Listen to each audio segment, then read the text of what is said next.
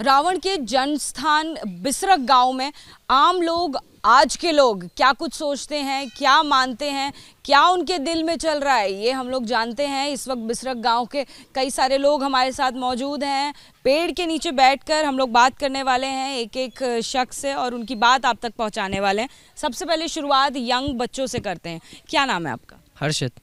हर्षित पूरा देश आज दशहरा मना रहा है। पुतला दहन किया जाता है रावण का। यहाँ पर आप लोग उनकी पूजा करते हैं। क्या कुछ मन में चलता है जब उनका पुतला दहन होते हुए आप देखते हैं? मुझे तो लगता है कि पुतला जलाना ही नहीं चाहिए। हर बार हर साल जलाया जाता है। जब आपको लगता ही है वो एक बार मर गया है तो उसे बार बार क्यों जलाते हो? आपका क्या नाम है? ध्रुव। ध्रुव आप कौन सी क्लास में ट्वेल्थ। ट्वेल्थ में। जी आपके स्कूल में जितने बच्चे हैं वो लोग सभी दशहरा मनाते हैं या फिर सभी आपके गाँव के ही लोग हैं? नहीं सब लोग दशहरा मनाते हैं। मनाते हैं। आप नहीं मनाते आपसे पूछते हैं तो आप क्या बोलते हैं? बनाना चाहिए वैसे। मनाना चाहिए। जिस तरीके से पुतला दहन होता है रावण की हम लोग पूजा करते हैं आप लोग पूजा करते हैं हम लोग नहीं करते हैं तो उसको कैसे एक्सप्लेन करते हैं आप? जी क्या? इसमें क्या ही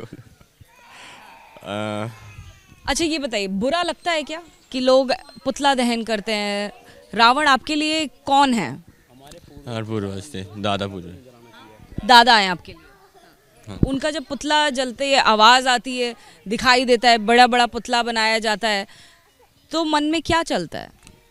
बुरा लगता है ऐसी चीज़ों में कि अबे यार। जी आपका क्या नाम है? मेरा नाम है जी वंश त्यागी। वंश आपको क्या लगता है? आप भी स्कूल में हो? हाँ जी मैं भी स्कूल में हूँ। तो आपके दोस्त जो हैं वो रावण का पुतला दहन जब होता है वो देखने के लिए मेला जाते होंगे। खुद बच्चे जलाते हैं बना के तो गलत है ना करना नहीं चाहिए ऐसे। क्यों नहीं करना चाहिए? क्योंकि बुराई पर अच्छाई की जीत के रूप में मनाया जाता है। तो बुराई के रूप में रावण को माना जाता है। आपके लिए रावण कौन है? ये हमारे तो पूर्वज थे रावण हम भी ब्राह्मण ही हैं वो भी ब्राह्मण थे। एक तरह से हमारे पूर्वज ही हुए तो मैं तो नहीं जलाता ना मैं जाता वो देखने। आपके परिवार में कोई जलाता है? जाते हैं बच्चे झूले वूले झूलने पर वो जब रावण जलता वहाँ पर कोई नहीं जाता। अच्छा तब आप वहाँ पर नहीं रहते? हाँ जी। आपका नाम सर? अभिषेक तिवारी। अभिषेक जी क्या कुछ आप कहेंगे कब से आपके यहाँ पे ये मान्यता है कि बिल्कुल रावण नहीं जलाया जाता? जी देखिए ये तो बहुत पुराने समय से चल रहा है कि रावण को इस गाँव का, इस गाँव का भांजा माना जाता था। ठीक है? तो ननिहाल है रावण का। और ये माना जाता है कि एक भांजा जो होता है, एक लाख ब्राह्मणों के बराबर होता है, और ये तो खुद ही महाब्राह्मण थे। तो ये चीज़ गलत है। देखिए, बुराई पर अच्छाई की जीत बहुत बढ़िया है। उस चीज़ को सेलिब्रेट करना चाहिए। उस चीज़ के मैं खिलाफ नहीं हूँ। लेकिन किसी मरे हुए इंसान को बार बार जलाना, वो भी एक ब्राह्मण समाज के इंसान को, ये चीज़ गलत है। वो ब्राह्मण नहीं, कोई भी हो एक बार जो मर गया जला दिया गया उसको बार बार नहीं जलाना चाहिए। हाँ अगर बात बुराई और अच्छाई की है तो वहाँ तक मान्यता मुझे समझ में आती है लेकिन इस तरह की चीज़ें मुझे गलत लगती हैं। जी कुछ महिलाओं से भी हम लोग बात करते हैं। अम्मा आपने कई साल इस गाँव में गुजारे हैं? नहीं नहीं। अच्छा आप बाहर हैं। हाँ, बाहर के हैं हम लोग। आप बिसरक गाँव के रहने वाले हैं। आपसे हम बात करते हैं क्योंकि आपने कई साल इस गाँव में गुजारे हैं? हमको चालीस साल हो गए। चालीस साल। क्या नाम हुआ आपका? मेरा विद्या। विद्या जी, किस तरीके से आप देखती हैं कि बाकी सारे देश में, आपके आसपास भी जितने लोग हैं, बाकी जगह हैं, उन सब जगह जिसकी आप पूजा कर रही हैं रावण की, उनका पुतला दहन किया जाता है, उनको जलाया जाता है। आपके मन में उस वक्त क्या चलता है? बस यही चलता है जो एक फिर है, हँसी चलागा तो उसमें दाग लगाना नहीं चाहिए। है जी? यहाँ बिसरक गाँव ये नामी गिरामी है, ये रावण की भूमि है। इसमें रामलीला भी नहीं होती है। क्या वजह है कि रामलीला नहीं होती है? रामलीला नूनी होती कि ये रावण का गाँव है। तो एक ये भी मान्यता हमें सुनने में आई है कि अगर रामलीला होती है तो उसके घर में कुछ अपशगुन हो जाता है। हाँ एक फिर रामलीला हुई तो उसमें परेशानी आ गई जब से रामलीला नहीं होती। लेकिन भगवान राम को क्या यहाँ पर पूजा जाता है? भगवान को सबको पूजा जाता है जितनी मंदिर में तस्वीर रखी हैं सब कोई पूजा जाता सब में ज़्यादा मानता है रावण की। सबसे आपके लिए अगर कहें कि विद्वान जो हैं वो रावण को ही माना जाता है। सबसे ज़्यादा पूजा उन्हीं की की जाती है। उन्हीं की होती है जी। आज के दिन दशहरा के दिन बहुत वो होती है कि आज हमारे हँसी में दाग नहीं लगना चाहिए। जब एक फेरा दाग लगा तो उसमें अग्नि नहीं लगनी चाहिए।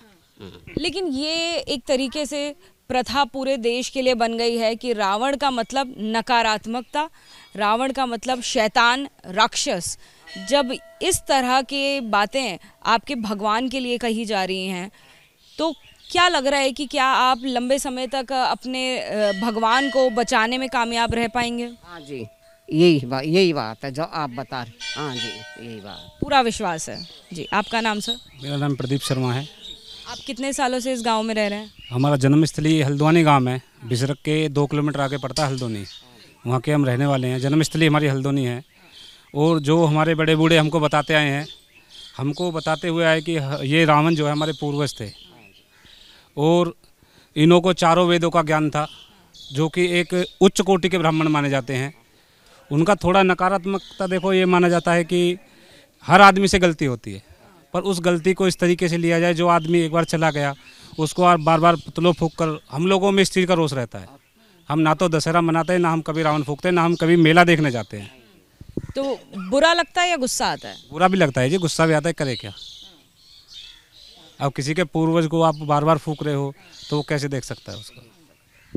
ये लगातार कहा जाता है कि जो रावण के काम थे वो गलत थे। उसको किस तरीके से आप जवाब देते हैं? देखो, रावण के काम गलत नहीं थे। रावण एक विद्वान ब्राह्मण था, जिसको चारों वेदों को मुझवा नहीं आता। उसने, उसका क्या था, उसका थोड़ा घमंड था। उसके वजह से उसमें थोड़ी कमियाँ हुई। कमियाँ के होते हुए लोगों ने रोष आया, उसने थोड़ा गलत गलत भी किया। चलो, जो उसने गलती की, उसके साथ साथ वो चले गए। उस चीज़ का देखो है कि चलो, वो ठीक है। पर इस तरीके से लोगों को पुतला जलाना बार बार पुतला जलाना उससे क्या कुछ नहीं? ये तो गलत है क्रोध जो आने वाले जनरेशन ये छोटे छोटे जो बच्चे हमें दिखाई दे रहे हैं इनके मन में कन्फ्यूज़न है क्योंकि ये भगवान राम को भी जानते हैं ये मेले में भी जाते हैं जहाँ पर ये देखते हैं कि भगवान जिनकी वो पूजा कर रहे हैं उनको जलाया जा रहा है। तो इन लोगों को आप कैसे ज्ञान देते हैं? हम इन बच्चों को ज्ञान देते हैं इसलिए हम आज के दिन यहाँ पे लाते हैं बच्चों को। और सारा समय यहीं पे बिताते हैं कि हमारे बच्चों को ज्ञान है कि रावण क्या था और उसमें क्या बुराइयाँ थी क्या अच्छाइयाँ थी। हवन वगैरह भी होगा मुझे बताया गया है। क्या वक्त रहता है हवन का? हवन भी होता हवन का मुझे लगे जी दस से दस ग्यारह बजे से चालू होता है। जी। पूजा होती है? और उसके बाद प्रसाद वितरण भी होता है। जी। क्या नाम है आपका? मानवी। मानवी। मानवी आप जानते हो ये जो तस्वीर है ये जो है रावण कौन थे? आप आप जानते हो बेटा क्या नाम है आपका? युग शर्मा। आज क्या है आपको पता है? दशहरा है आज। तो देखिए, आपने तस्वीरें देखी है बिसरक गाँव की, जहाँ पर रावण की पूजा की जाती है, आराधना की जाती है, जिनके लिए रावण विद्वान हैं, क्योंकि ये रावण का ही गाँव है, ननिहाल है, यहाँ पर रावण की, का जन्म हुआ था, उनके पिताजी का जन्म हुआ था, और मेरे पीछे जो मंदिर दिख रहा है आपको, ये रावण का खास तौर पर मंदिर बनाया गया है, जहाँ पर भगवान शिव की भी मूर्ति है, शिवलिंग भी है, और ये मान्यता है कि सबसे बड़े भक्त अगर कोई थे भगवान शिव के तो वो रावण थे। और अब उन्हीं के साथ में ये जो मंदिर है, इसकी खूबसूरती रावण की अलग अलग तरह की जो स्टैचूज़ हैं, जो मूर्तियाँ हैं, वो बनाकर की गई है। कैमरा पर्सन सुनील के साथ जातिका सिंह एबीपी न्यूज़ नोएडा।